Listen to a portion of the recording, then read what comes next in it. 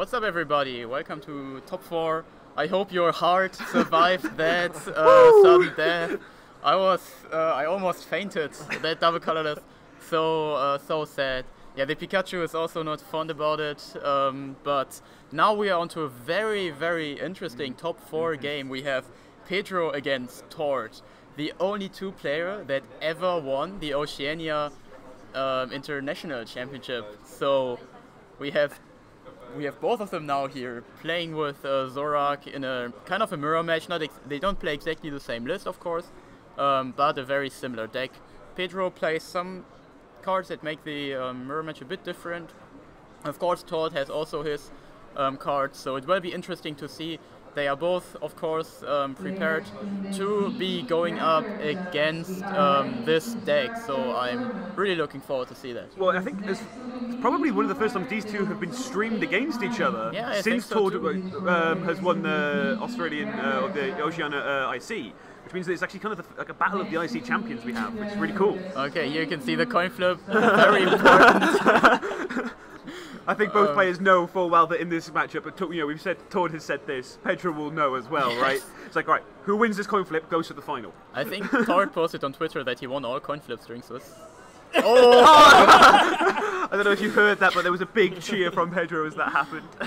Um, I, I actually I said earlier during the last round that on stream, even if you see the coin flips, you don't see who goes first. but I think this is kind of obvious. Um, yeah, so Pedro will be um, starting the game. Um, they can already set up, but his starting hand doesn't look too amazing. Um, oh, actually, he has a he has a he's fine, Zorua, so and an Ultra Ball. And I think it's And very, very similar. similar, yeah. it might be a very close So mirror in weird, that yeah. very similar opening turns for both players. Like the boss open their hand, the first card you see, just Sudowoodo. They both had a Zorua, I think. And for had for Zorua. Tord, it actually looks like there's a difficult decision here. Um, Yeah, it's oftentimes when you start with just the one poke, well, you start with one, you just throw it down. But there are actually some matchups where picking which one you want to start with makes a huge difference. And you, throughout the day, when you win the coin flip, you might not know that because you don't know what the uh, other person's playing. But when you know full well that that it's a mirror, and these guys have been chatting for like the last hour to, or two whilst we've had other games on, like these guys will know what to expect. I think this is the longest I've seen someone agonize over which Pokemon to start with, though. Yeah, it seems like a It's a weird really, position. So really he does tough- put Zorua active I think the pseudo and a bench. Pseudo on the bench. Yeah, now they can place their prize card. For us, it's a little bit complicated um, because of our camera. And Well, we hope it doesn't come down to the prizes uh, this game. We want to be able to see us back and forth. Uh, just see the Zorro do the Zorro things that it can do of have turns where you go from no board state to absolutely everything. Yeah, and now we see um, the judge placing the prize cards for them. Ah, yeah, sometime. But if they are if they are finished, then they can start with the game. But that was a really cool coin flip. Uh, going back there. So we have both lists here. We can talk a Yeah, little bit about the differences. So definitely Pedro, he plays um, two Hex Maniacs, but Tord also plays two Hex Maniacs, which is not really that um, popular. But of course, Pedro only with his three Exeggcute uh, and his Seismitoad EX. Um, that's kind of different. And also, um, yeah, Tord plays Oranguru, which um, Pedro does not have. Other than that, they're both yeah fairly similar, kind of uh, standard lists. Now we can see the prize cards: two Zorua for Pedro and two Zorua for. Tord. They're really going for this mirror. and both Hex. Oh dear. Well, Oh. both hex being prized means that basically Pedro has free reign to trade and propagate as much as he wants. And as soon as the Sudowoodo comes down, which will likely be immediately, uh, oh, he's like the Oricorio. Um, These are these prize cards. Oh boy. yeah, this. Well, we were saying that we were hoping that the game wouldn't come down to prize cards, but Yeah, you. I may have jinxed that. Um, so straight away, battle compressor from Pedro. Immediately. Don't only say nice things now. Yeah. Like, I hope the game was only decided by prize cards, and then the prize cards. yeah, everything I say that I want to happen won't happen. This is basically me playing, to be honest. Alright, so Pedro goes first, now can see his prize cards. He will soon realize that his Zoruas are priced. You might see that these are the standard Zoruas. And we talked with, we already streamed Pedro, and he said that these are the only Zoruas he has. Yes. And that's why he plays them. He also, he said that the only reason he plays 3 Exeggcute is because he has 3. And that's the Exeggcutes he owns. Which I find quite surprising because with the fact that they have, you know, many of these players are very well known, very well liked in the community. It's, uh, it's quite surprising that he wasn't able to at least ask someone for an Exeggcute. Yeah, true. um, I mean, even I uh, gave some Zorua. I, I think I found four of them in a in a box somewhere. Yeah. I just gave them to someone in my league who was like, ah, I really need that. so Um, he's opted to battle compressor away the Zorua. Yeah, so that's telling that he has either double puzzle or a, uh rescue stretcher in his hand. He also has Lele, Um, yeah, he has a Tapu Lele. so he could have bridged it. Yeah, he could have bridged it, but he Ah, knows yeah, that there is only these are all Yeah. Zoruas. And he also knows that the Sudowoodo situation is awkward. Yeah, because if he Brigette's he plays the Lele for the Brigette, he then takes whatever he gets, and he doesn't have much space left on his bench for the rest of the game. turn one Hex Maniac. you can see Tord's reactions like, "Yep, that's how that's how this game goes." All right, so now it's Tord's turn. He'll draw. He goes first. He also got a. You got a Tapu Lele, Yeah, I I think think, so. yeah, but nothing. I think their hands are almost identical. Um, really. Oh, he has an egg. And he passes. Oh, Oh boy. dear. Does Pedro find himself a Zorak? He got the Shaymin, so he will draw some extra cards. And also, like, Ram can actually deal 40 damage against Oricorio. Oh, it's, it's weak to dark. yeah, Um, of course. So, set up. And this. so weird. Oh. Oh dear. This could be. Oh, this could be very quick. Uh, yeah, so not looking... Oh, he drew three. He drew three. Not looking to too three. good um, Um, for Tord. So he used Propagate to draw. The thing is, is Tord didn't even have a chance to switch to his deck So let's see. turn, which means that Tord is not aware of his prize card situation. Uh, he isn't, and now Pedro has the option. He can actually Tapu Lele for his second Hexmaniac if he wants to. He knows that, yeah, there is probably no space for Zorua anyways. So, yeah, one attack. Now, do we see another Hex Maniac? Um, he's Looks putting like it that's in. option. Yeah, he's got not the not of approval. Uh, yeah, uh, that's what I would do too. Yeah, it's um, an awkward situation because by being able to chain Hex Maniacs for multiple turns, especially early in the game, um, starting from turn one, that means that you don't have access to things like Wonder Tag to get your uh, board established. Um, and at the moment, he doesn't need to use the Hexmaniac for the extra damage, especially with no Zorua on Tord's side. The most HP on his side of the board is 90. He doesn't need to hit Skyfield to be able to take big KOs. So he's actually kind of content to just go, I'll use the Hexmaniacs, we'll find a way of getting them back later. Oh, and now another Hex. Um, not so great. I'm pretty sure if you if you can if anyone could read lips, I'm pretty sure Tord did his signature, but why? Uh, then whilst uh, as the hex came down, uh, promotes the egg. Oh, and his hand's got a Shaymin and a, a lele Oh, in it. So It's sad. like these are these are not nice. So he just benches it and Passes ends his turn. Pedro's also like, uh, but now he will get his revenge for Yeah. Tord to um, For stealing his taking- crowd in Oceania. Yeah, exactly. So trades away the end because I think at this point Pedro might be able to understand Tord's hand's not very good. Uh, uh, yeah, I would guess that too. Uh, Um, so I he don't know if it's from- discards uh, Pokemon Ranger, actually uh, an interesting card that you put into his deck. It gets rid, it gets rid of Martin Janusz uh, Chaos Wheel. yes, um, Um, but of course mainly against uh, Garbodor. and uh, I actually did hear Sableye, uh, uh, Seismitoad. Yeah, so when we had him on it um, yesterday, he said as long as I ran to one Seismitoad, I'm happy. And he actually uh, needed to top uh, to hit both Seismitoad energy or like Seismitoad and be able to get his uh, abilities and stuff back. Got something like Field Blower as well, off of enter low hand size. His opponent was like, "There's no way he's playing Ranger. There's no way. Oh, he's played Ranger. Yeah, Well, never mind." that's it. And now Pedro using Ultra Ball for a uh, Seismitoad EX.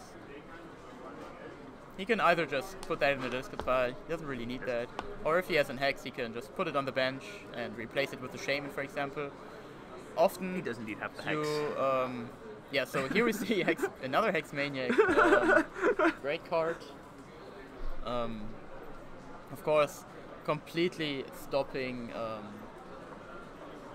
Tord from having anything, and also giving Pedro that extra hand size. Um, I mean, Tord's now agonizing over the choice of do I go Shaymin or uh, go with the Sudowoodo. No matter what in this situation, it's likely that the Sudowoodo uh, ends up in the uh, active position because if he'd gone for Shaymin, he would have Sky returned into it. Um, so now he's in an awkward uh, spot where he's just looking at his hand and he's just like, pass again, there's nothing he can do. Uh, I think that's three basically draw pass it turns in a row for Tord. Yeah, and now Pedro, he was able to find another Zorua from surprise cards. Um, he, because the Hexmaniac is now not active anymore. Um, the of from Tord, of course, activates, and like we already said, now he can just put his uh, Shaymin into the discard pile. He doesn't need it, um, and it's only a true price card, which is on the bench. Might lose him the game later. Um, well, I think that would require Tord to Yeah, exactly. a few Yeah, important something. cards in a, t- in a few turns. Yeah, but now it's almost over. Tord might actually scoop here. I think even your 60 minutes, 60 minutes is not too much, and Zoroark Muroks often take a lot of time. Uh, yeah, let's see how many prize cards it takes um, until Tord also decides to scoop the game. Well, I don't think he's he, again still had the chance to search his deck. He doesn't know what his prize Yeah. situation is, and I think as soon as he does and goes, oh wait, there's two Zoroark and both Hex Maniac in here. I think we can just save the time. There's very little in the way that he can uh, kind of respond at any point Yeah, exactly. And now we see the computer search. for the VS Seeker. For the Hex, perhaps? I would suppose. I mean, this is all that Pedro needs to do. Every turn, just hex. So, in standard, some people are crazy and play Garbodor Zoroark. But in expanded, you don't need that. You just Yeah, you, you you need Verse Seeker, and that's all. Uh, obviously for London, Tord uh, spoke about it afterwards how he tested basically a 45 card Zoroark engine and 15 cards to beat whatever format you walk Yeah. into. It turns out in expanded, you just need the Zoroark engine. Yeah, exactly. And And, some that's- and then you're already fit. And then you're That's fine. it, yeah. That's, So that's your deck. I, I think for both players, both familiar with Zoroark, both have played it for a while, uh, they both go, well, th- yeah, this was the obvious choice coming in, and we see that it, it's just capable of grinding out games if it, you know, if you can chain the Hex Maniacs, but also doing crazy things like just exploding and hitting 210 every turn.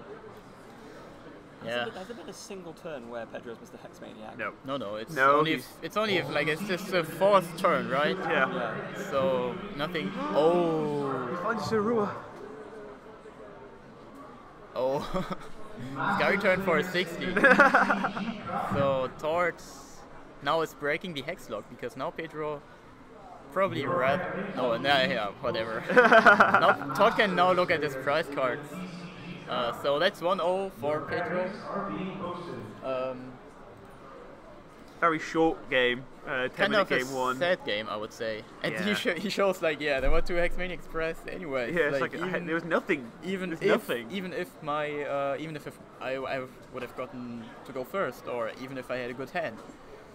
No, nothing. Yeah, well, yeah, he had no way of ever getting past the Sudowoodo, which meant he was never taking one uh, one hit knockouts, whereas Pedro could just hex and do whatever he wanted before Yeah. he hexed.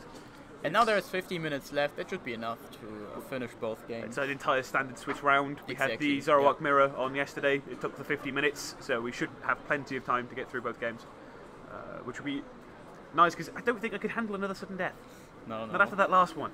That was that's enough. Um, yeah, so I think yeah, the lists are quite similar. Yeah. I don't think I'm interested to see if Oranguru also is doing a lot in this kind of mirror match.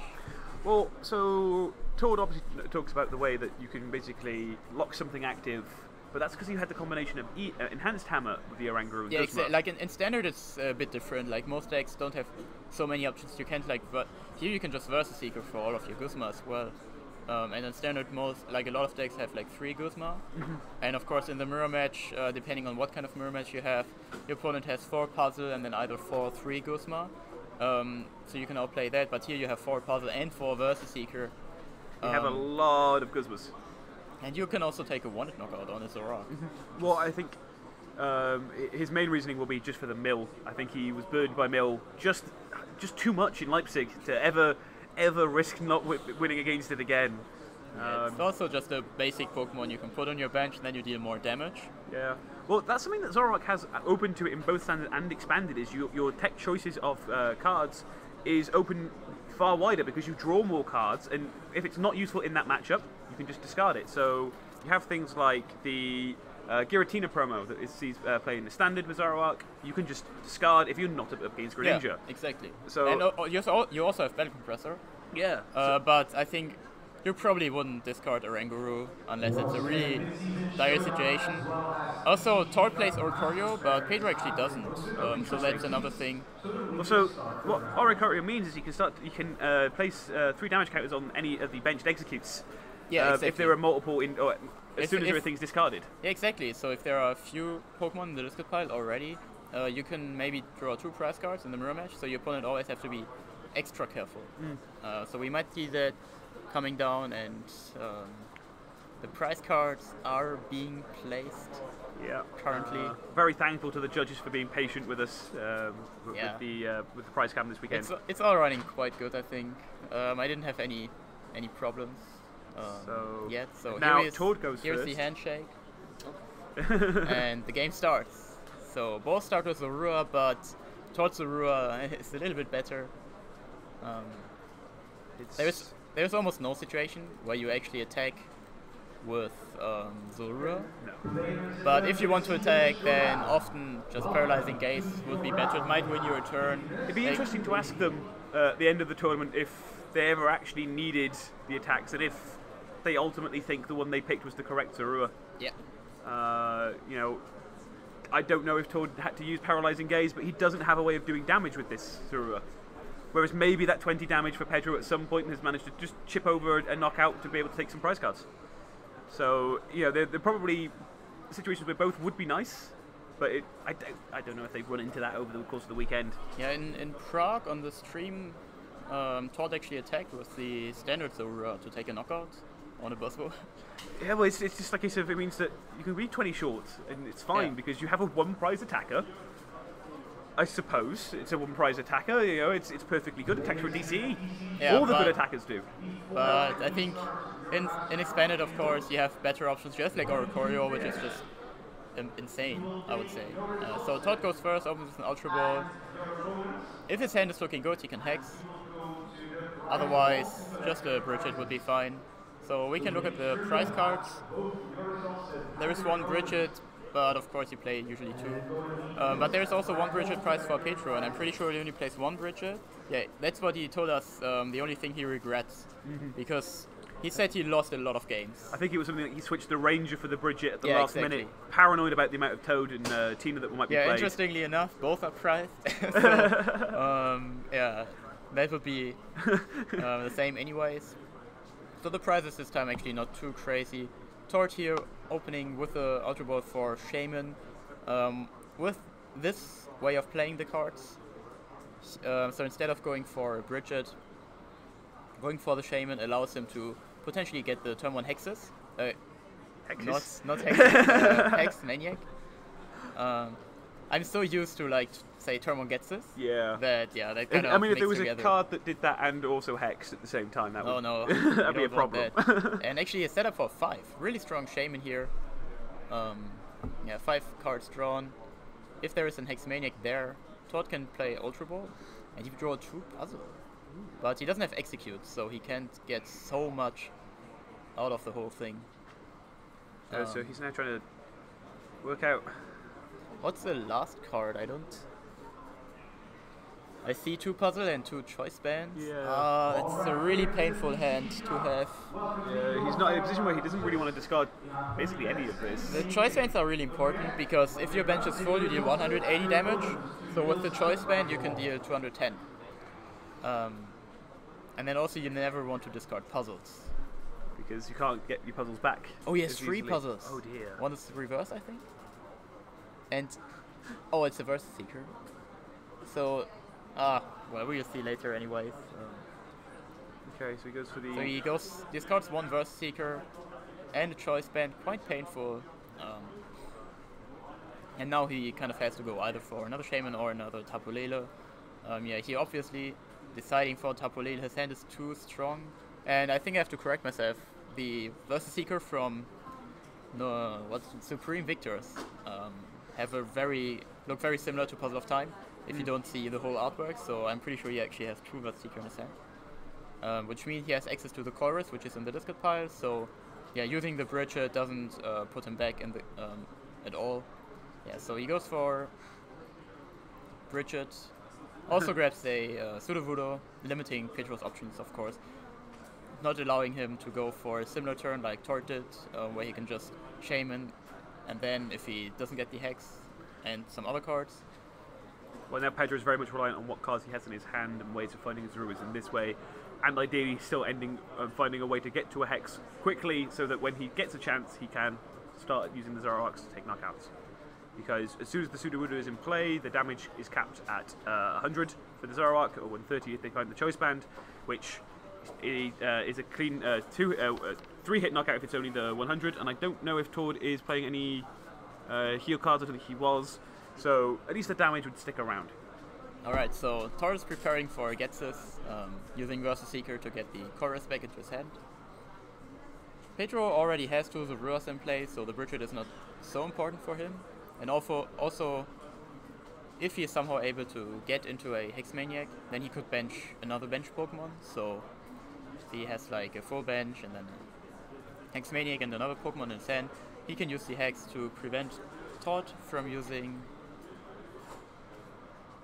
um, yeah, trade, of course. And Pedro just using Pokemon Communication, the black and white artwork, uh, not the most popular one. Um, um, it's a card that only really will see play here because there are so many like one-off Pokemon and cards that you need to have access to particular things at particular times. With the fact that you can just propagation and Exeggcute out of your discard, put it back into your deck with Pokemon Communication to get the card you wanted. It's basically a free kind of Ultra Ball, and you can then battle compress the Exeggcute back into the discard anyway. So it means that you have a lot easier access to uh, some of the Pokemon that you need. Uh, we see there is actually a Pokemon communication for the uh, Exeggcute this time, and then discarding them both with an Ultra Ball, so he can grab something else. I think there's a computer search in his hand as well, so he'll have access to both Ultra Ball and uh, computer search in the same turn. Uh, both effectively for free now. Um, and he's trying to work out exactly the best line because without the bench spaces that he would be given by, uh, you know, taken away by the Sudowoodo, he has to be careful with choosing exactly the right Pokemon to bench at the right turns.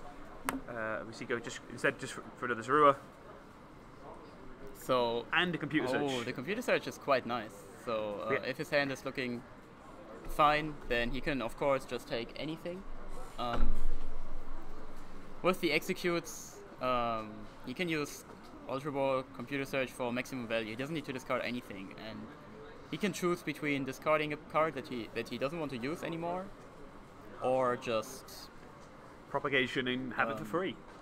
yeah. And also, he can fill up this bench. Like, propagation does so many things in this deck. It's it's really insane. Well, so that was something that was the big thing that's changed with Exeggcute is that it used to just be a kind of hand-sized fixer for decks that needed to have particular combinations of cards and be able to play things in particular sequences. Oh, and here we see a high five for a setup for six, um, six cards.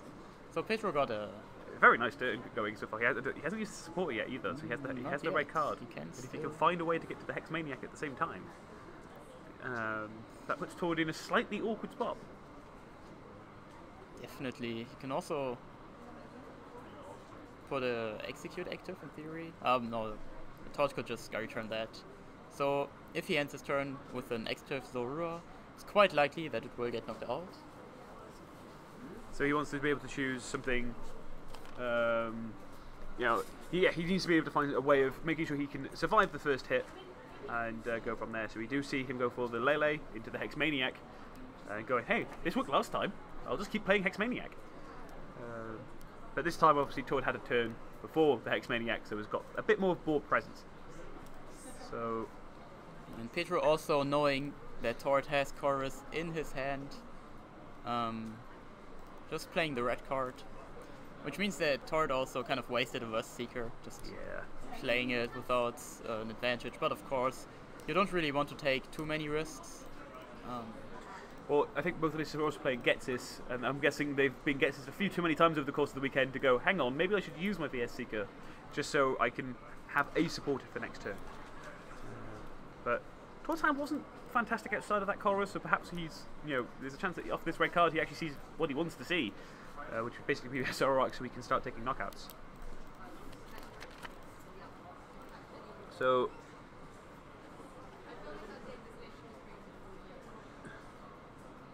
Down comes the hex maniac. He has the Pedro's agonizing over this. Do I just play the uh, execute and then uh, promote it? Uh, that's what he's going for. So he's basically said, right, I don't think Tord off uh, the red card before um, and Hexmaniac has access to Sky Return this turn to be able to take this knockout. However, with, the la- with how the last game ended with people top decking DCs, I wouldn't rule anything out. So, I think that was another Versus Seeker Tord has drawn into. Um, and a Battle Compressor. I think there might be two Battle Compressors actually. So, Computer Search comes in for one of the very shiny eggs. We haven't seen very many Secret Rare Exeggcutes this weekend. Uh, most people were just opting to play the common. Um, Cord was very happy when he found extras. Uh, he, you know, was just like, oh yeah. I was like, oh no, I had to play expanded. I don't have any expanded cards. And then looked through his bulk and found two gold eggs. So it's okay for some. Yeah, I mean, it's kind of annoying that the cards are so expanded, uh, so so expensive in expanded. so not the format is expanded, but the prices as well. Um, yeah. Now Tord just using Battle Compressor to get his Exeggcutes into the discard pile. Um, he goes for two Exeggcutes here, and he can also discard a Hexmaniac, for example. Um, it's very common to just put supporter cards that you actually need into your discard pile quite often, just so you know you will always have access to it um, with a Versus Seeker, for example. Well, this is where we see playing two copies uh, having full effect because it means things like Ultra Balls and Tapu Leles are an out to it if it's still in, uh, if one copy's in deck, and the other VS Seekers are then an out for it if it's in the discard. So you always have access to both of these places to go get grab your resources. Yeah, another card Tord just discarded is, is Skyfield. Um, both players only play Skyfield as their stadium, so there is no way for them to get rid of it. Um, Tord playing Colress without any hand cards, and there are six Pokemon on Tord's side and five on Pedro's, so he can actually draw 11 cards with this Colress. Um, really, really strong card. Um, in theory, you can even draw. Yeah, if both benches are full, you can draw 16. Haven't seen that yet. It's I think we saw it in round one. Oh, really? Yeah, uh, uh, Oh. and, and then it was followed up by some more trades just in case. Amazing. uh, most of the time there is a Sudowoodo active um, because now all decks that play Skyfield also play Sudowoodo just to take away that advantage your opponents gets because both players get the, to have eight bench Pokemon. I think Nick would be uh, someone who can uh, comment to that because uh, having played Mega Rayquaza, is it that Sudowoodo uh, with Mega Ray was kind of like, oh, well, that's not fair. You get a bench and I don't. Having said that, the only deck of Sudowoodo that I played against at Worlds I beat, so. that was Vikabulu. Oh So- boy. yeah, so Tord putting even more bench Pokemon. So you might wonder why there are five bench Pokemon for Pedro, even though Sudowoodo is in in play. But keep in mind, Hexmaniac is still active.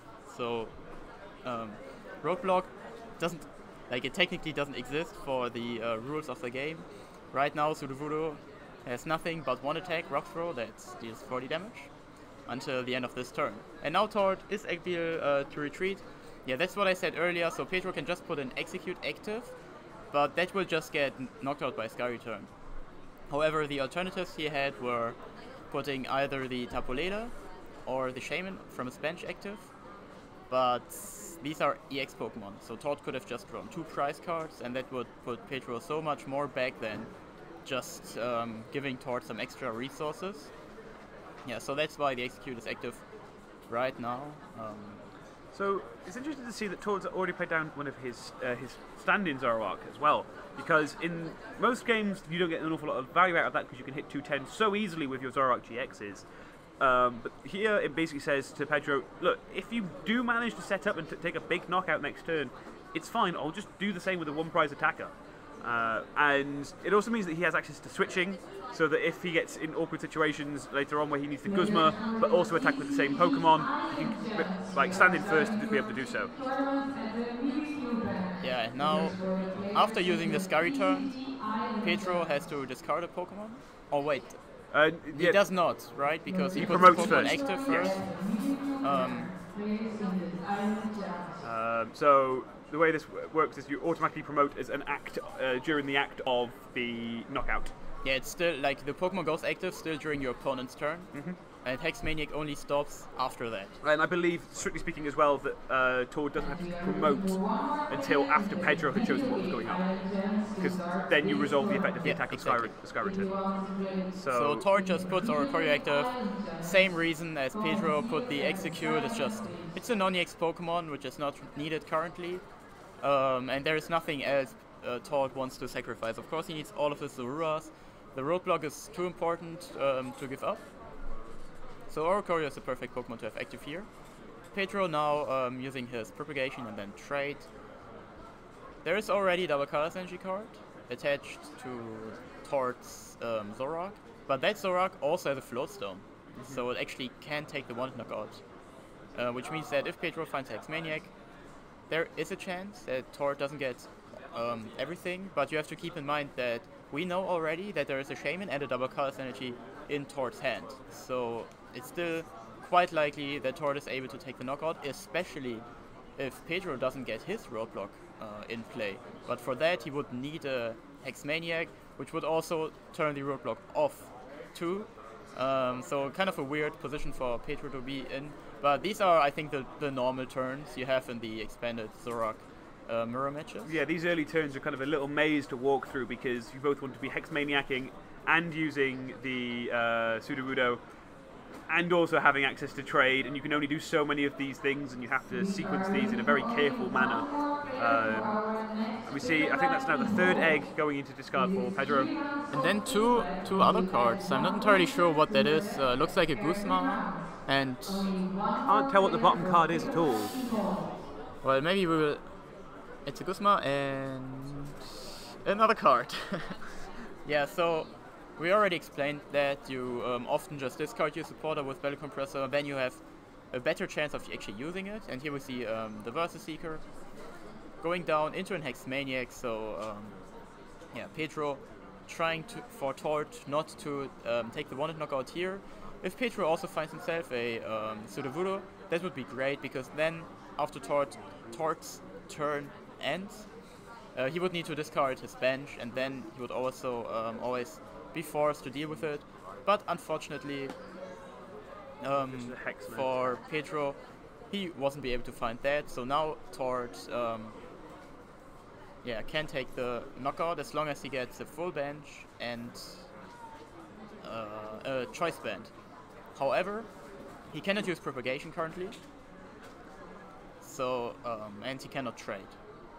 So this is the thing. I think Pedro has managed to hit Hex Maniac effectively every turn, Yeah, I think for- he, he like including in the first game. He's on a bit of a streak with these Hex Maniacs. and Uh, now Tord, red card. Um, so to have the knockout after an Hex Maniac, you need to have a lot of hand cards as well. Um, this is why red card Hex Maniac is so devastating. But yeah, because it, it means that you need to have find ways of hexmaniacing, filling your bench, having the choice band and the DCE, and you need to do that off of four cards. Yeah, uh, exactly. Which is very difficult because you need about five cards to do that. so they all need to be perfect. Um, So if Tord finds a Hexmaniac himself, that would be even better. Um, in this case, it looks like he just can take a two-hit knockout. But he has a puzzle. Oh yeah, yeah here's the Hex Maniac. So now Pedro can't trade. He has only two hand cards and also two random cards. Um, yeah, they're not in no way affected by anything like um, yeah earlier trades. So you know, wasn't really set up anything. He cannot use Exeggcute as well. We do see he has an Ultra Ball in his hand, which is not good to have uh, if you're under the lock of Hex Maniac, because you have to discard two other cards, and whatever you get, mm, it's not too great. But I think a Sudowoodo makes Yeah. sense here, because now he can just put it onto his bench. And then he can discard the Shaymin at the at the end of the turn when the Hex goes, because that's just two easy prize cards for Tord to be able to take at some point. Um, so, discarding the size of a Toad, it looks like it's not going to get. Um, he, he decides it's going to get no value in this matchup, uh, because with the ability to just trade, who needs item cards? Just draw everything. And now Um, we see Pedro kind of deciding uh, what makes the most sense here. Yeah, he wants to go for Zorua first, but goes for a Sudowoodo and plays a Battle Compressor afterwards. Oh, his he only has one hand card left, and Yeah. I saw that it's a Rescue Stretcher. Nothing you really want to have. No, so he, he can attack into the active Zoroark, but I don't even know if he wants to necessarily do that this turn because if he attacks, he only has the energy on the active. If he attacks into it, Tord can simply just retreat and attack with the one on the bench, which is fresh, and he has no energy on board, one hand card. Um, And So- here we see the first turn without Hex Maniac, which means Tord can draw six cards. And if one of them is a, either a puzzle, because he already has one in his hand, or a Versus Seeker, he can use Hex Maniac himself. And then Pedro doesn't have anything in there. So now we see him just go, oh, that's fine, I'll just discard my Lele. I don't need this.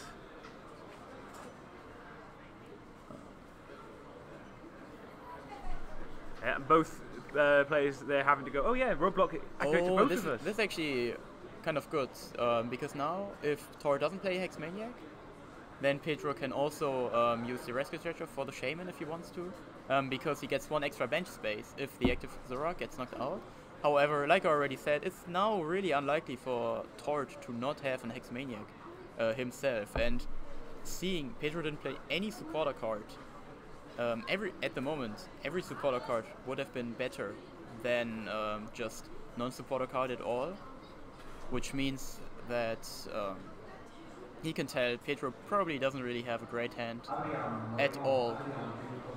Well, so Tord here just going for the Zoroark from off an Ultra Ball uh, for free and opting to trade that away, like we said earlier on. Once you have access to propagation and trade, you can choose: do I want to thin something from my deck or my hand, or do I want to just have the free card? And he's and Tord's gone. Well, I'm not going to get a zero to survive at any point. Uh, so we may as well start thinning the deck out and uh, take the take, take the chance off the board of uh, being blown out. So the double colors to the uh, breakthrough Zoroark here, again, basically says to Pedro, hey, go ahead, Hex, set up your board, take the KO. But I'll do exactly the same thing. Hex Maniac, And there is the Hex again. and I think now, yeah, now Tord has such a dominant game position. Um, it really comes down to the top card Pedro just got.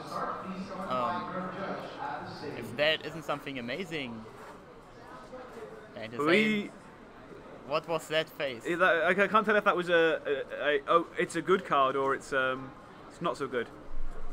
Uh, well, seeing as he just passed, I'm gonna go with not so good. Another battle compressor. Tord now down to five hand cards, uh, five deck cards. Um, And in theory, he can fill up his bench as well this turn, and he should have. I mean, his hand is so big. There's almost no way he doesn't have access to a choice band and full bench this turn if Yeah. he wants it. Uh, and there's no reason not to take the knockout uh, this turn because it means then that you don't actually have to Hex Maniac uh, Pedro to stop him having access to trade because you'd have to have it in hand and seeing as he's got two hand cards and didn't seem too happy with them, it seems a little unlikely. Tord has almost the same deck cards as Pedro has hand cards. it's uh, crazy. So now Tord, he can use Hex Maniac after using Propagation. So he uses four times Propagation, plays Hexmaniac, puts all of them on the bench, and here we see him grab the choice band and Hexmaniac with the double puzzle. So he can attach the um, choice band, Make some sa- makes, space for makes himself. space for the X. Um, in theory, he could also take um, another card if he has a rescue stretcher.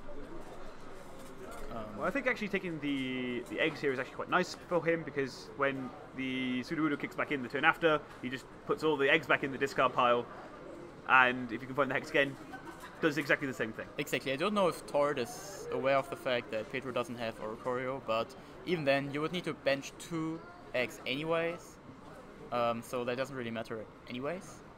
Yeah, so two press cards taken by Tord. He only needs one.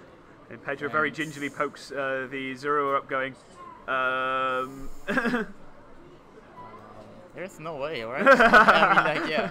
So he just scoops. Um, 1 1. Yeah, really, really interesting game. We do see the value of going first because when players go first and hit those Hex Maniac, their opponents really don't have much chance to do much in their opening turn. Uh, no access to set up Lele, propagation to make your Ultra Balls and your Computer Search free so you can hit these cards. It Yeah. makes it an awful lot more difficult. So, yeah. Kind of sad, I would say.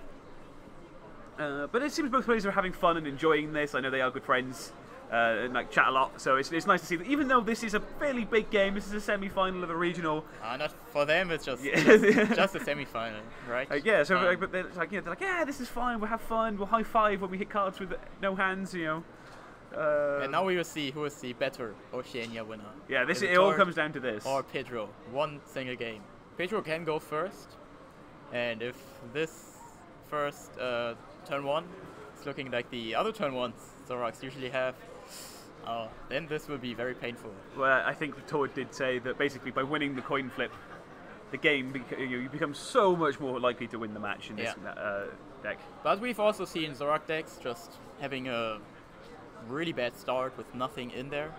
And if that happens for Pedro, of course, Well, this is a side effect of playing so many one-offs. Like the Zoroark decks have access to so many cards as a one-off that sometimes you wind up getting a combination of these in your opening hand that gives you kind of no options.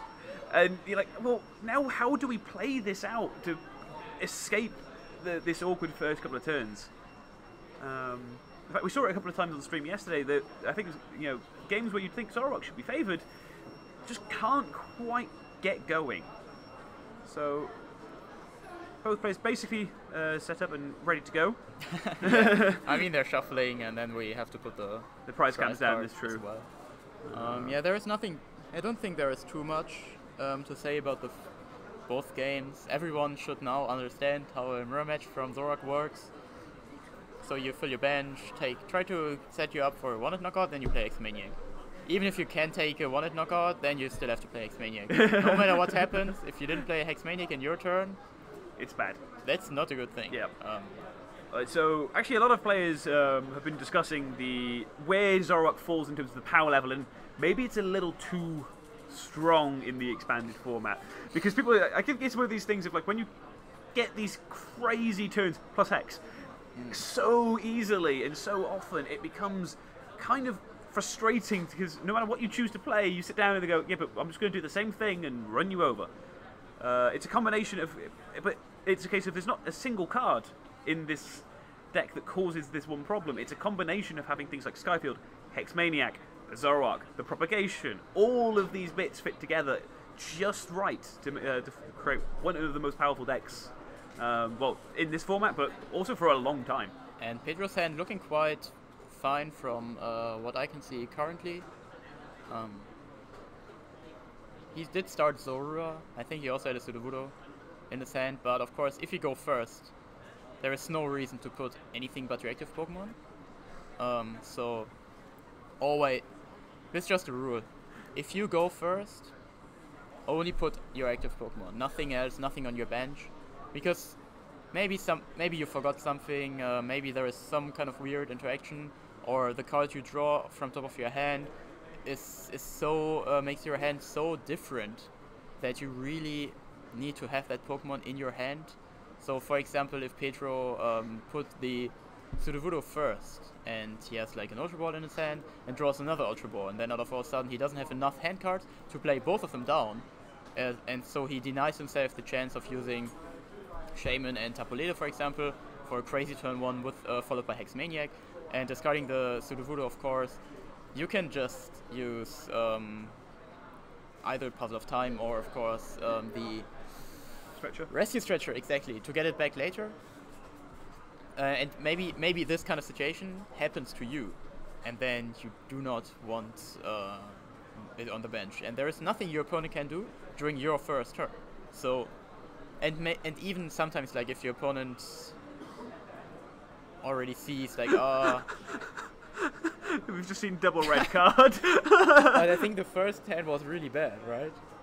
I don't know, but th- this is something that, like, so very often, you know, this is clearly done because you just showed the shame. It's like I'm just thinning my hand so I can get more cards off of this uh, this setup. But there's also a thing at this level. There's also a chance that they can read the body language of their opponent Yeah. well enough to go right. I've I've hit you for four cards and you don't seem sad enough. So do it again, and maybe you're worse off this time. Yeah, be sad. um, looking at the prize cards, for Tord he has two Zoroark Zoroarks, again. which is it's fine actually. Um, he, as long as he draws one of them at some point, there shouldn't be a big, big of a deal. For Pedro, the rainbow card there is a Tapu Lele. Yeah, there's the computer search and the Acerola uh, in the uh, prize cards, which means any early damage from Tord is more likely to stick for a little while. Yeah, but I think Acerola is not a card which is uh, against Zoroark. It's um, Hexmaniac is a card against Zoroark. That's why everyone plays two. Um, at the beginning of the tournament, like I, I, I, looked at all the deck lists from Costa Mesa. um, but I still had like in my mind it was Hexmaniac was like a situational one-off card that you sometimes need. But it's such an ama- it's such an important thing in this strategy that you can't play without it. Well, entire decks are built around the idea of ability lock. You have all the Garb- Garbodor decks that are built just around that it, a bit like thing on its own, and now every deck has access to that mechanic via Hexmaniac, which is searchable because you have access to things like uh, you know the Sapphire Lele to search it out. So it just means that you have such easy access to turning off an entire mechanic in the card game. Uh, So Pedro had to play Colress in his first turn for only four cards, um, but his board state is already a lot different than Tord's. Tord did find an Ultra Ball and, And also two egg. eggs. Oh, wow. beautiful, beautiful. It's, uh, clearly, he should have stuck to the first red card. Yeah, exactly. It's like, oh, I've been punished for, for wanting that extra extra card from my uh, setup. yeah, Uh, now he has to uh, think about it. Uh, what he takes. So he can either, of course, take Tapu Lele or Shaymin EX. They kind of do similar things, but not entirely. And in a Zoroark decks, you usually want to take Shaymin first, because then you have the chance of just getting a Zorua. Um, like you see, if he draws into like two Ultra Ball, this is kind of like to draw your deck for any Pokemon because you don't need to discard anything, you have Exeggcute. So going for Shaymin first gives you the option to draw into way more, and um, you have the option to use Hexmaniac after you get a lot of Zoruas in play. And now, especially for Pedro, we know he has three hand cards. He played a single puzzle, so these are six cards. Um, kind of, kind of like six cards, um, which are known, which are cards Pedro has access to. So Hexmania gets a lot of value because uh, if he is able to evolve, he can directly take a knockout on the Zorua, and he can, uh, yeah, tr- start trade trading. go into those cards. Yeah, so that's actually a big reason why Shaymin as a as the step one is a really nice card. Is because it means that you still have access to go into your Hex Maniac later in the turn, and as we've said many times, Hex Maniac is so important in this matchup. So, don't think we see anything good, and you can see Tord scratching head, his head, and I'm not entirely sure what he said there, but it was probably complaining a little bit about what he's drawn. Um, He does have a Ghetsis. yeah, but off the f- small hand size of Pedro, it's There's like a very dark card in his hand. I wonder if it's a computer search. might well It be. might be a reverse holo Ghetsis. No, it is indeed Yeah. the computer. So the computer search was actually in his hand before he uses setup. But at this point, he doesn't know what he really wants. Um, this is like in sequencing, there are. It's it's kind of a complicated thing, but sometimes you have to go more cards versus more information. So to decide on what you search for with computer search, you need to have as much information as possible. And that's why it's more valuable to know the four cards you draw first than to take the card which is usually like the one thing you want and then drawing one card extra. Plus, if the card you want is something like a Hexmaniac, for example, you can't, you don't even draw more cards, of course. You don't want to use it. And here in this scenario, you have the X, you don't even need to discard anything. Um, see double puzzle. Oh, this is really cool. Um, That's a really nice thing because with access to the eggs already and basically for free early in this game, he now gets to have two A specs in a single turn, let alone in a single game, and two for free Ultra Balls. Uh, that one wasn't on the bingo sheet for the single turn. I think we said in the single game because we thought that was more likely. Um, so Tord goes for Ultra Ball, actually discarding hand cards. Um, this way, he can, in theory, use another Shaymin if he wants to, or just get rid of these cards. Um, yeah, you want to have supporter card, certain supporter cards just in your discard pile, um, and you, you don't just have the Compressor. We saw Tord also, just like me, thinking about, well, I could take a Shaman, right? Um, but I could also take another Justice Aurora. So here, slightly odd that he's going back into his deck without having played any cards to do so, but it's very clear that he's about to because he did take the computer switch off the puzzle. no, like he can, he didn't shuffle yet. Yeah, yeah, yeah. So he's allowed to go back in. as long as you didn't shuffle, Yeah, yeah. you're allowed to Um, so do it this way. And he probably won't shuffle anyways because he will play the computer search this turn too. Uh, he's just double checking, it's like, probably right, his prize cards just to make sure um, he's not missing anything. Um, So double propagation for computer search. There's another really dark card in his hand, and I still don't know what it is. I think it's a reverse holo Ghetsis. Ah, okay. Okay. Yeah. So Remember all the plasma reverse foils use the mirror foiling from the Pocket Soul Silver era, and all those Yeah. cards are much darker.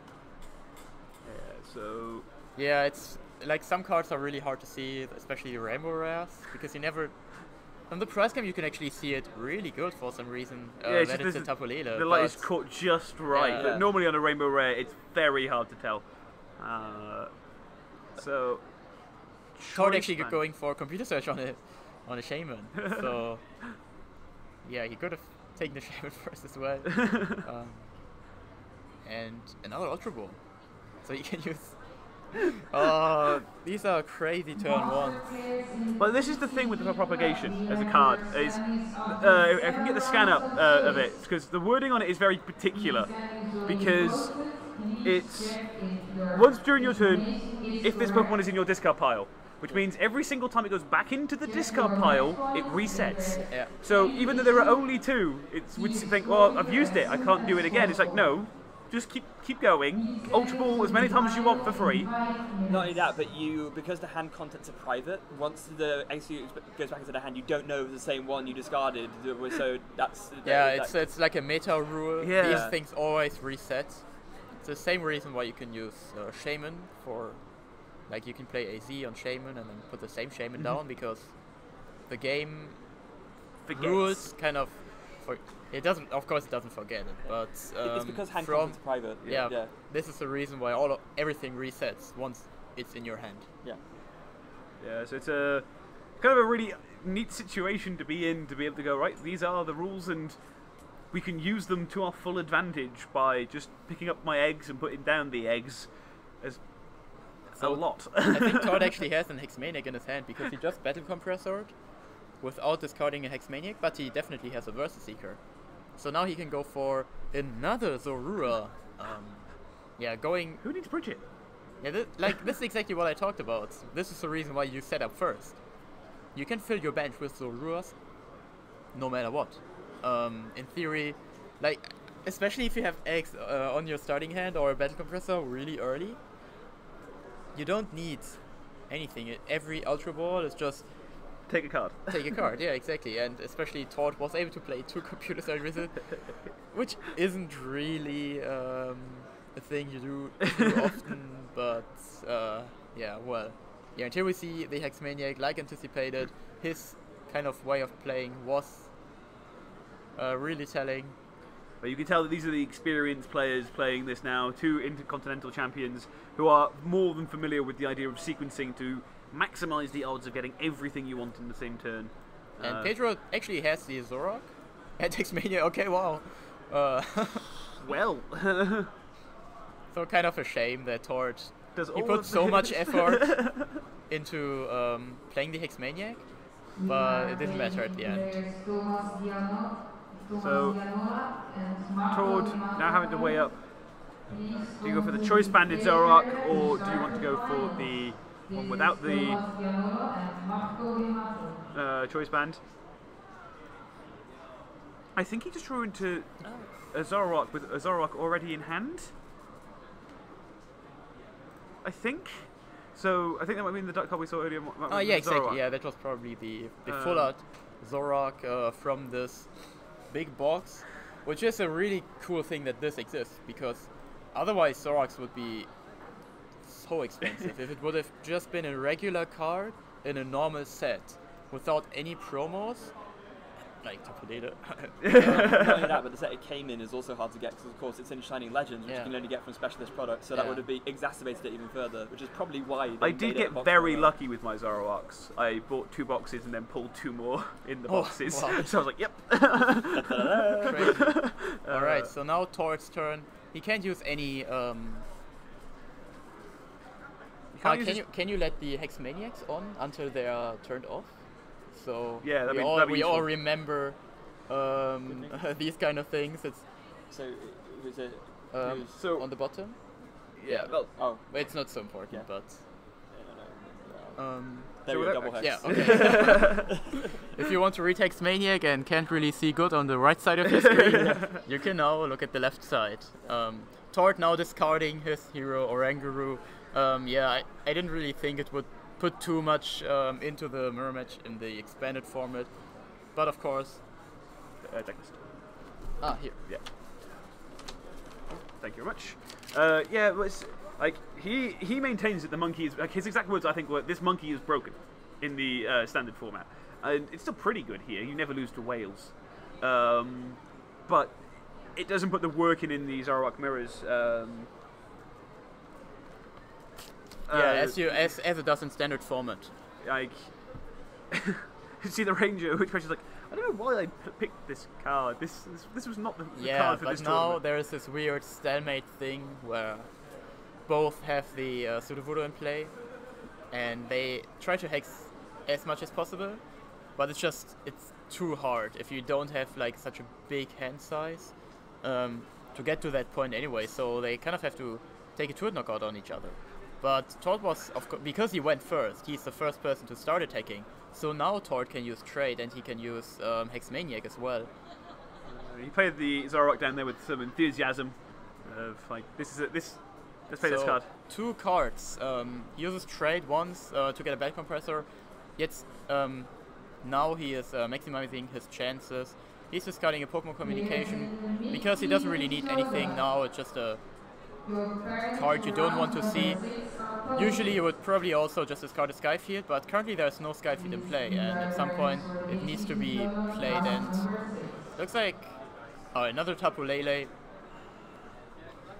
It might be uh, Tapu might be still important uh, in theory, if there is a um, a turn where you need to search your deck for a Hexmaniac, for example, or just another supporter card. I don't know if Tord actually has both Hexmaniac and Assist Pile already, um, but he cannot put the Tapu Lele on the bench right now. Anyways, he can only bench it if Hexmaniac is in place, so it's not very valuable currently. Uh, and he's So he actually goes for the retreat. So now, if he actually finds the he gets full value from that uh, this turn of being able to get exactly the knockout um, that he needed, leaving Pedro without access to trade this turn unless he has a Zoroark in hand. wait, did he actually hex? Uh, no, no, no. But uh, oh, fair th- Yeah, yeah, sure. Play, If- so, only if he has this in in his hand, or or has um, a way of getting access to it.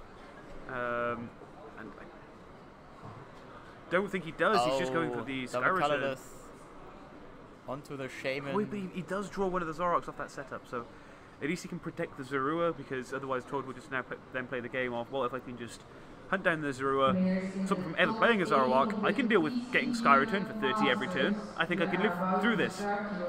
Yeah, this is a really interesting game. Pedro finding another Hex Maniac.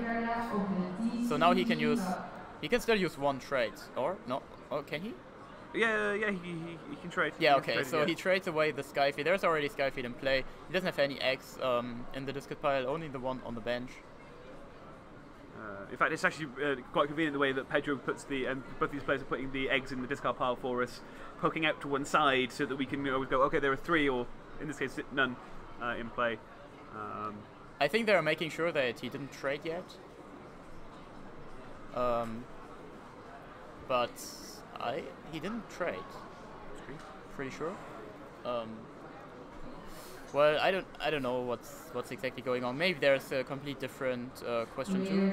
well, he didn't draw the cards yet. He, he just declared trade ability and uh, went, went to discard. Um, he hasn't drawn the cards, so there wouldn't be a penalty in the situation. Yeah, maybe we can find out um, how exactly that happened or what's going on. Um, but yeah, currently we just have to wait.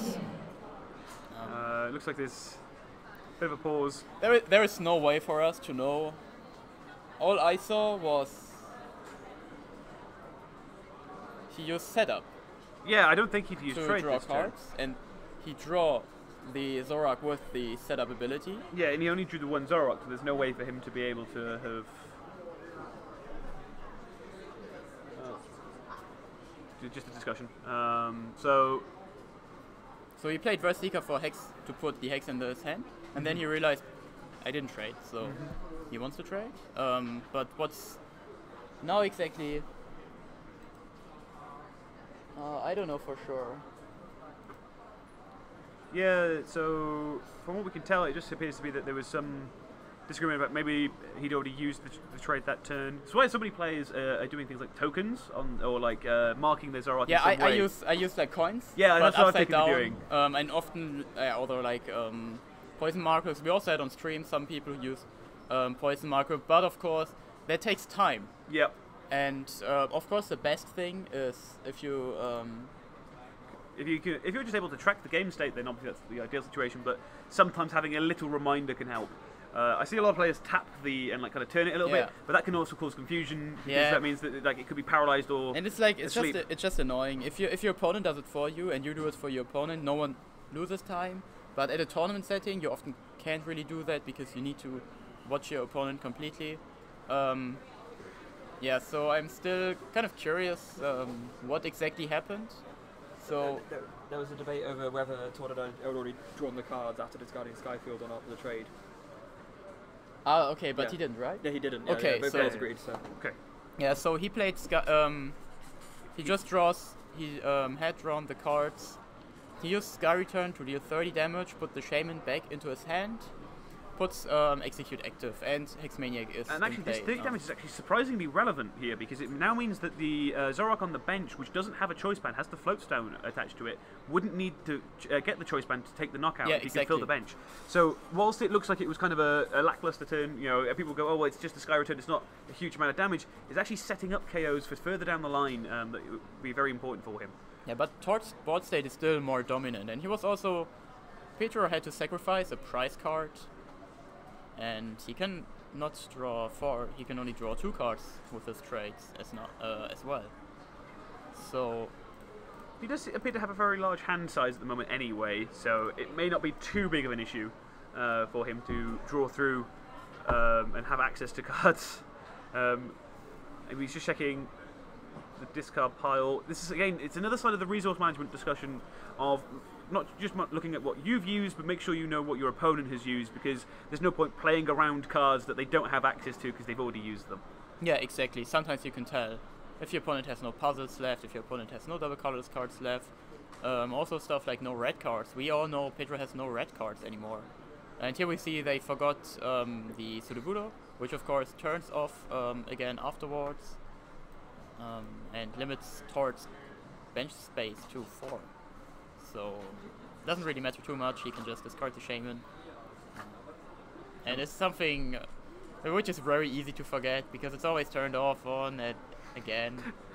And because it's not like because it, it's not like a parallel city where like when it comes into play you go okay this has happened and I have to do something immediately. It happens at kind of slightly odd times of your turn of like okay right oh hex is just enough uh, and I have to make an extra decision at the end of the turn. Um, Yeah, Pedro just uses trade, discards the Skyfield. The cards he's drawn into aren't too great. he's just gonna have to take, take another sky return. Um, just it's like oh hang on I, I can get some eggs. I can just give you a single prize that isn't too relevant. Um, So really looking good for Tord. Mm. Um, Seismitoad hitting the bench. If it's followed by Hexmaniac, um, Mhm. Pedro might be able to make this Seismitoad stay uh, in play, letting uh, not letting it get knocked out. Um, here we see the Hex, so depending on how many hand cards Tord have, I imagine it's not too much, uh, not too many of course, then um, it should be fine, but if he finds himself a way to get how many three Pokemon, yeah. um, he will also be able to get the knockout. So he did draw into the Hexmaniac. Uh, to the Ah no, DS he needs he needs four extra Pokemon because if he has three extra, that's seven, so 140, and that's only 170. Uh, Seismitoad EX has 180 HP. Yeah, so it's kind of a, a good tank in this situation. Yeah, of take a hit, being able to. Uh, ideally, if Pedro can keep chaining. No, the- of course. No, I mean uh, three is enough. Yeah. Um, because yeah, he has seven bench Pokemon, but of course uh, the active one uh, Yeah. is the eighth one. But three is still a lot Pokemon. Uh, a lot of Pokemon to find in this situation. Um, This is the first time we've had a Seismitoad on stream, as in like. Actually, as one of the cards, as Yeah. a scan, and it's the semi-finals. Um, the expanded has changed. Yeah. uh, so well, Pedro has what, the what option. does Titan do again? like he, uh, Pedro has the option um, to ideally start chaining both Hexmaniac, and we know he has the double colorless already in hand, and Quaking Punch, which means that yes, Tord is in a good board state, but he will never be able to really advance the board state at that point because without access to items and abilities, he's kind of stuck in his um, his uh, situation. So, I think time has been called, and this would be the first turn of Yes, time. maybe. Maybe they had a slight time extension for that uh, discussion about the trade. As far as I'm aware, they didn't. Okay. Um, all right, so.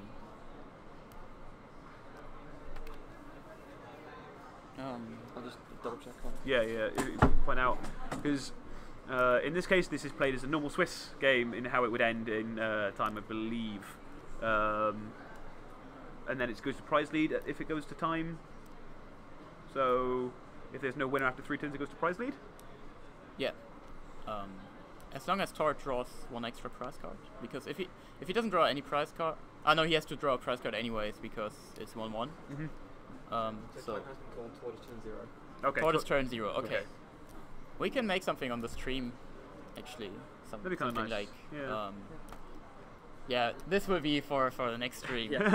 uh, something I write down, so either the judge or the player can put something on the on the table, so that everyone knows it's extra turn. Um, It's like a marker or something. yeah. And So we see a big Colress. Is that a Colress, I believe? So, or is, no, it's just Tord asking how many hand cards he had. yeah, exactly. Which was and still a lot. pit- pit-. Um, Tord is currently playing an Ultra Ball. He actually discarded a puzzle of time with it.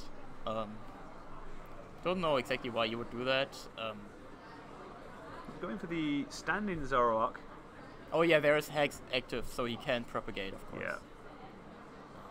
Um, so with the with the stand-in Zoroark, haven't seen it attack at any point, but it is always a threat. It- it's one of Yeah. those cards you get value from without ever actually thinking you get value from. And especially in the like the first game wasn't that great, and the second game, uh, after some turns, Pedro just didn't draw well enough uh, to keep up. So Oricorio as well. Very slowly played. Oh, yeah. like, I think I played the Oricorio this turn. So now it's 170 damage. Um, Tord should have another bench Pokemon, right? I mean, I mean, otherwise he can't take the knockout. well, he can VS Seeker. He can draw a whole bunch of cards uh, through one of the many supporters he's gone through, or he can opt to Hex. Um, I think he's gone for the Hex. Can't tell. It's just very shiny. Um, did I mess up or did Tord mess up? Uh, one, two, three, four, five, six. No, he would need another. Uh, Oh, it's only it's, a, it's only a normal bench. It's only yeah, yeah, five it's, it's a normal bench. Whoa. I thought it's two bench Pokemon because he puts the energy Yeah. um, next to each other.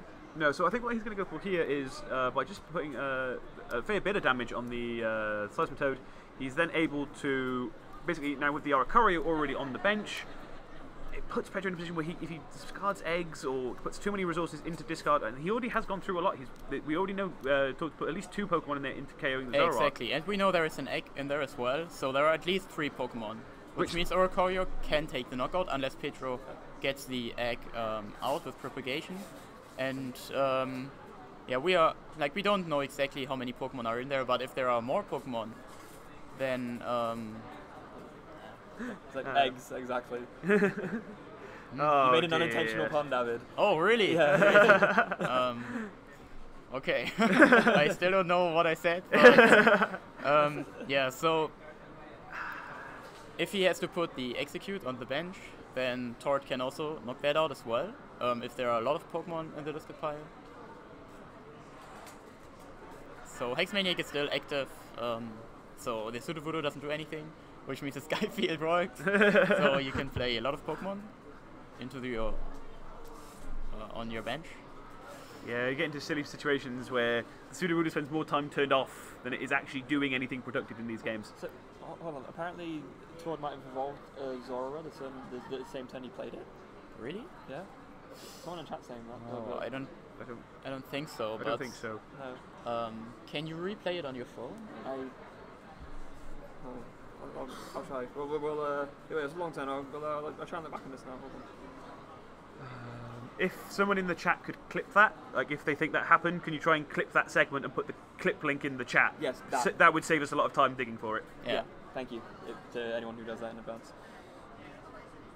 Because Um, I didn't. I don't. I didn't- don't I didn't think- catch it. Yeah. So So it's a double puzzle, and I guess he's gonna go take Pokemon out just to prevent the uh, the Oricorio finishing, well, effectively finishing this game off. yeah. So he So hits. he play. He gets a floatstone and he gets the um, Zorua. So I think someone in the chat says it's a Acerola. It's in the prize cards. It's uh, Mhm. there. So that's not an option, unfortunately. No. Um, otherwise, of course, that would have been an out. Uh, so now a big Colress coming for 10 cards, if I can count correctly. No, it's not, it's 11 cards. Yeah, it's, it's a lot of cards. It's Yeah. it's always a case of people kind of complaining, Like big wheel. but it's just support and not a GX attack, so you can do it multiple times. Alright, the It's Zora great. was down for two turns. It's oh, not fair very- enough. yeah.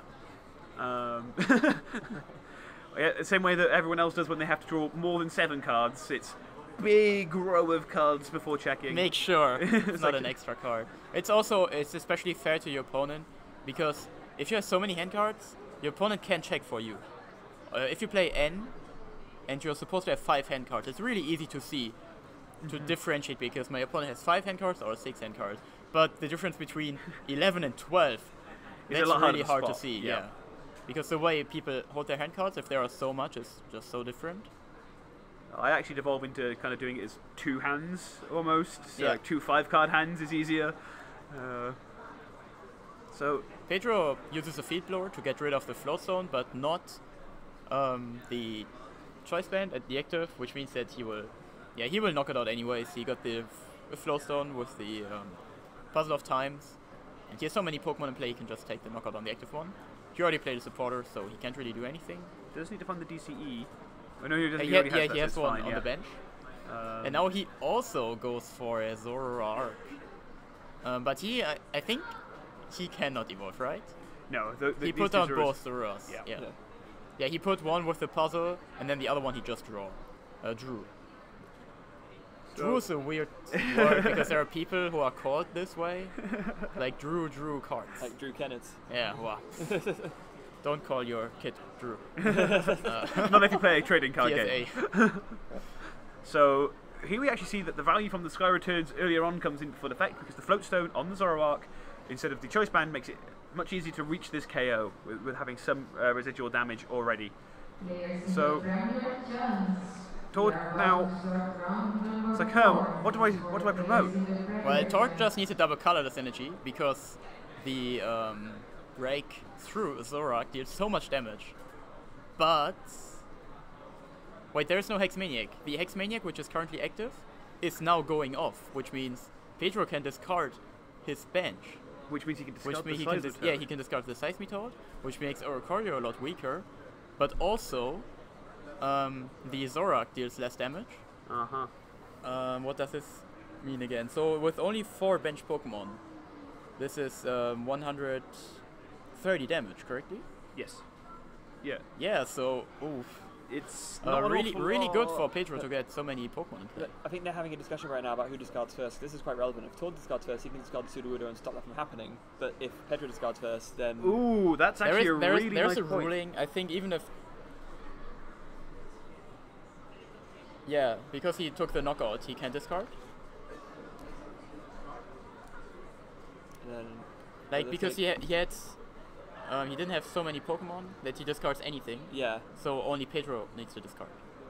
Yeah, so, Ah, so actually, that the, the, the fact that uh, Tord missed the extra single extra bench Pokemon, it didn't matter damage-wise that turn, but, Yeah, but- it would have ha- kicked in here. That it would have been very different.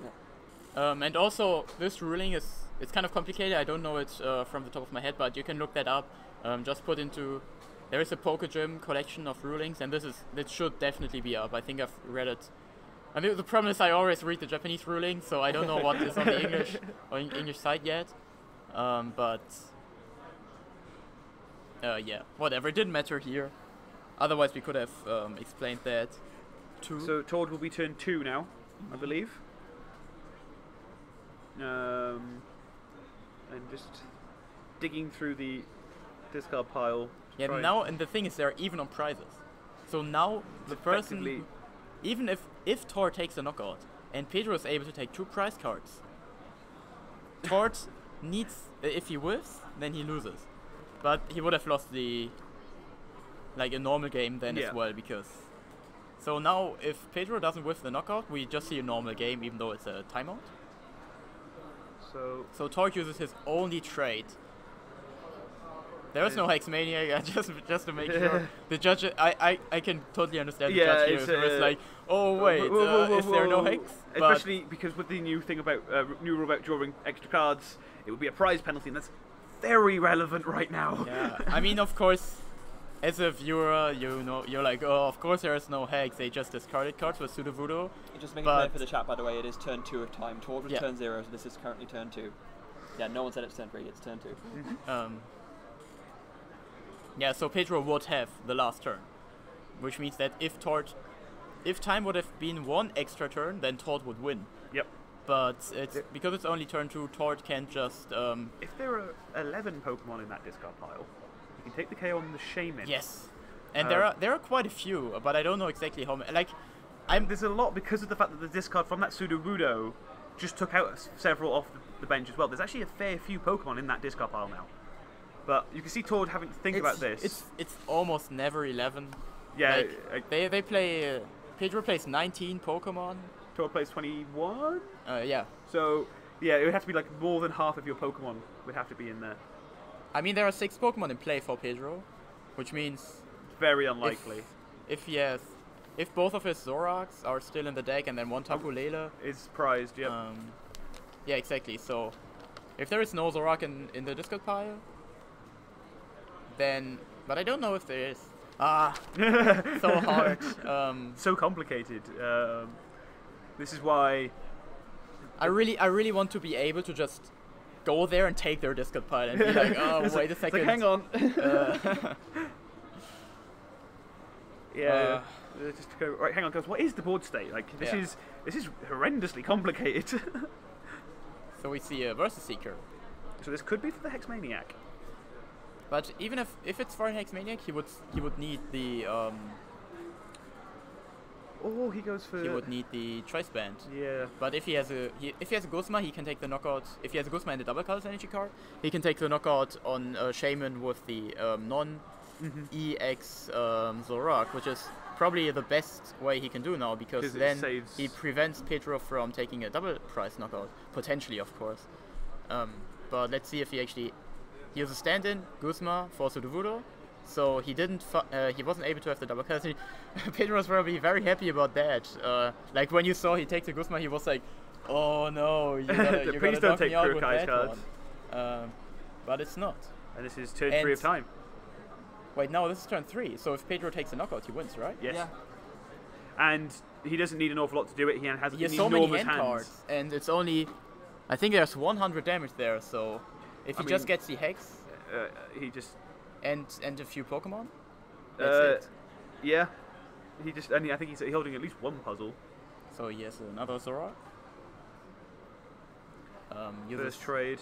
Hey, you got yeah. So this is another Pokemon. He can take the egg if he has a Hex Maniac. Um, well, actually, so here he has to make sure he can. T- he has to have the hex to be able to ever find this. So he's actually putting them back into deck because uh, I think with the eggs in discard, one egg in discard, that's one Pokemon he always has access to. Access to, and I think he's holding a. Oh no, okay, so Oh, let's let's see how like this this might be the last turn. well, it definitely is the last turn because of the uh, fact that it's turn three. No, if if Pedro can only take one prize card, Oh, yeah, then they going. continue playing. Um, so if he has a Guzma, he can retreat, then play Guzma and take a knockout on one of the bench Pokemon. Mm-hmm. Um, and I'm Ooh, you can see him. Uh, big breaths and trying to work out well, what's he, happening. he has the Hex Maniac, and he has two Pokemon in his hand, right? So he can play Hex and win. I think he's just being very, very careful. Yeah, he's like, I definitely haven't. Okay, so he up plays the sequencing." Hex. He puts Yeah. two Pokemon on the bench. Uh, yes, Yeah, even yeah. one more. And yeah, that's oh, Really, good- very, such very a good cool game. Wow. Coming right down to the wire. Yeah, it looked it looked really good for Tord in between. Like the first turn was amazing, and like that that turn where Pedro had the um, the uh, Seismitoad active, I was like, oh boy, If, that's yeah, it. if he misses Um, it now, it could it could but that was so tears, well played. That's such a good game. Yeah. Um, just goes to show the caliber of play that we could have seen throughout this tournament and going into this final now. It's been extremely high. Yeah. And we've seen some fantastic games on the stream, and it just goes to show that players who can do this consistently are Yeah. extremely talented. And also now we know that Pedro is the better Oceania winner. Yeah, so that settles the debate there of who's Finally. who's really king of Oceania. All right, so um, I think we can talk a little bit with Pedro about it. That so, so many cool things um, we can talk about with him. Until then, you have to look at our face again. The computer guy just Ran away. ran away. oh, wait a second. Um, I will I will sort this out. We'll give them a little break, maybe perhaps uh, before.